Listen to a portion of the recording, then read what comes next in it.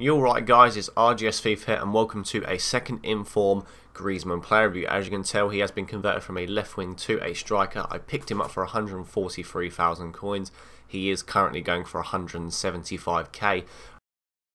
So far got 15 goals and got 1 assist. So what I'm going to do is show you the goal highlights of how Griezmann performed in them 6 games and tell you the pros and cons of this card and if it's worth your coins.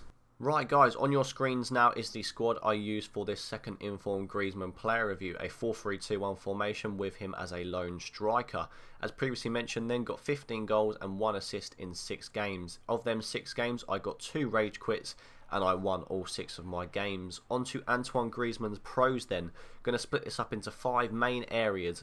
Those areas are pace, dribbling, finishing, link-up play and positioning. So firstly then, Antoine Griezmann's pace, 87 on the card stat, 87 acceleration and sprint speed. He is lightning quick.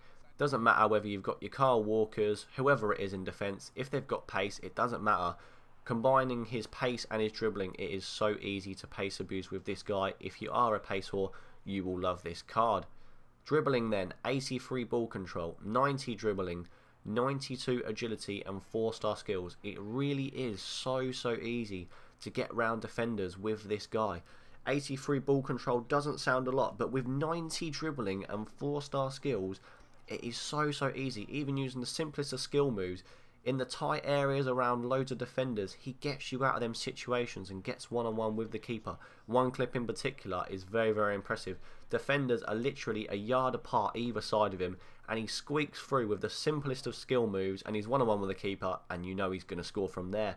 Onto his finishing then 90 finishing, 91 volleys, 87 curve, 84 shot power, and 3 star weak foot. First, you want to point out that the 3 star weak foot definitely feels like a 4 star, probably due to his high shooting stats. But 90 finishing says it all. He's going to finish everything in the box. If you're going to do a finesse, 87 curve with 90 finishing, it's in the back of the net. If you're going to do a power shot, 84 shot power and 90 finishing, it's in the back of the net. It's as simple as that.